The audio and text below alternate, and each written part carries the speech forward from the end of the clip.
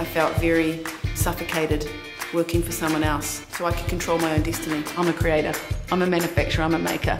It's in my blood, it's in my bones.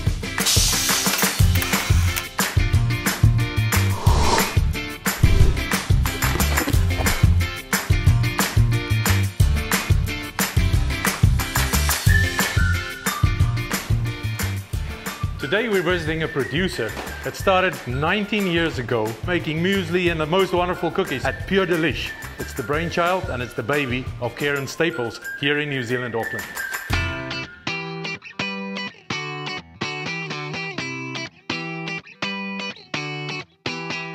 We had no money. I had two small children at home and I'm a great baker. So I decided to make some Christmas cakes and sell them at the markets and walk the streets and see if people would want to buy them. I got a taste of making it, baking it, seeing the end result and then getting paid for it. Pure Delish has this story that is so real that it's hard to believe. I started in 1997. Pure Delish is a creative company. We make one and a half to two tonnes of cereal a day and we make it by hand. We pack it by hand. We've gone where no one else has ever gone. We've created a category that no one ever thought was possible. We like a bakery. We try and keep it fresh. So we're manufacturing, we pack it, it comes to the warehouse and it could be on a supermarket shelf within three, four days. We do a whole range of different breakfast cereals. Grain-free granola. What, Yeah. Why grain-free? People don't want grain anymore. It's one of the trends. About seven years ago, that's when I started bringing in these more grain-free, healthy products. I could see where the market was going. Paleo-friendly is now the buzzword, but we've been doing it for seven years. Where do you get your ingredients from? All around the world. You think of all the nuts and seeds we use, we're going through tons and tons a month. We pay top dollar, but it's all around quality and making sure it's coming from a good source. Every single box of material that you see come in, G hand checks. Gee, you've seen every nut that's gone through this factory. You know, we are human beings, we can miss some things, and I'm the one to find out. I could not own Pure Delish if we didn't make the product ourselves. I have had quite a lot of pressure over the years to contract manufacture because as your business grows, it's really hard to create a manufacturing environment. So contract manufacturing often is the easy option, but I see us as a family. You can help people when you employ people. That really makes me happy to think that I'm making a difference to 28 people's lives. I always talk about them as artisan and as highly skilled people. We often say, who can come up with something that's going to make things better? It's like a big family. You need to have the passions on what you are doing, on what you are making, and you can create. to get some practicum experience as part of the degree. I saw this as the perfect place to work. Whenever people would come past with Pure Delish, I'd be like, that's me. And it's pretty awesome that you can see your product displaying over there on the shelf. This is our bakery side of the business. They're making the primal biscuits.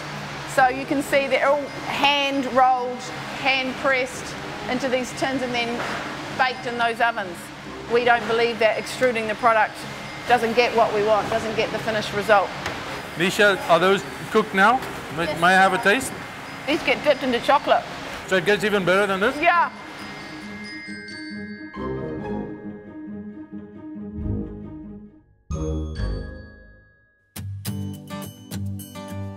We provide the staff with three cooked lunches a week.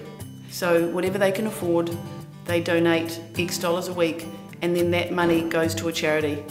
It creates a sense of community, everyone sits together. It also gives me the opportunity to control what they're eating. It's real food because we're a real food company.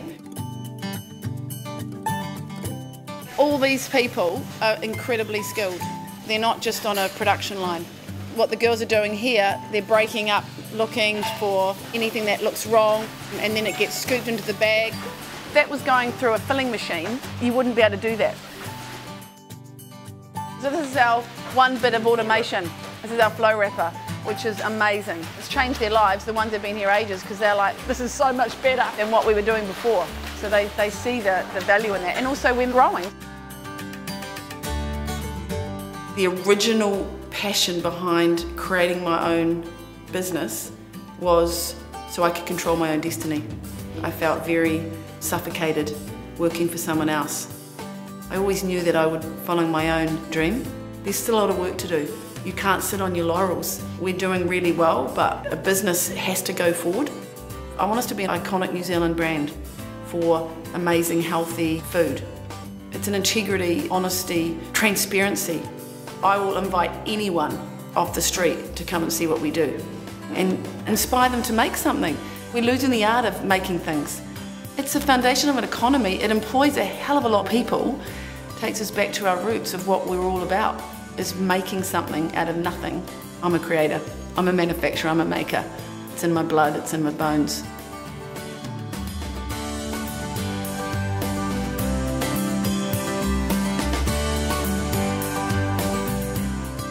Thank you for watching. We want to make more of these videos and your support makes it possible, so please subscribe below and share it with as many people as you can.